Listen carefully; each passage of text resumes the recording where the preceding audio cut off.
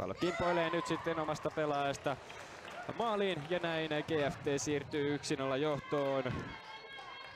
Johanna Vasara siellä oli tätä kulmapot... Lind.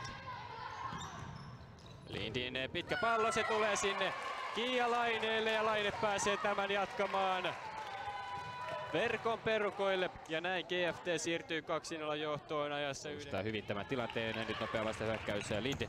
Linde, mikä on ratkaisu? Äh, Lind laittaa pallon maaliin ja GFT kasvattaa johdokseen 3-0.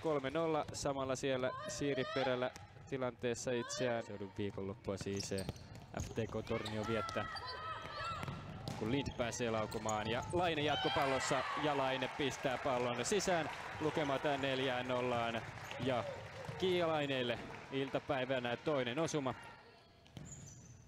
Keränen Vasara riistossa. Vasara laittaa tästä pallon myöskin maaliin, joten GFT viides osuma tosiasia ajassa 37-51 maalintekijä. Keränen, Suhonen, Keränen. Vieläkö sieltä tulisi? Kyllä tulee! Näin onnistuu FTK sen avausmaalin tekemään reilu puoli minuuttia ennen loppua.